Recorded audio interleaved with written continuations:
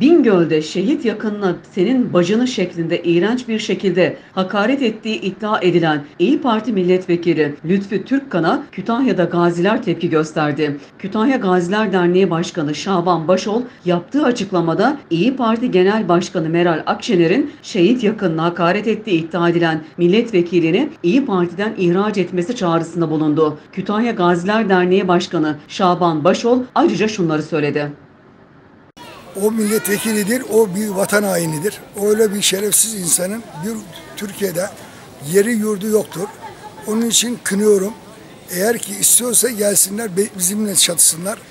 Bu insanlar burada vatan vatanın için canını veren bir şehit ailesine küfür edemez ve komple ben bunu Türkiye Cumhuriyeti olarak ve Gaziler Dernek Başkanı olarak kınıyorum.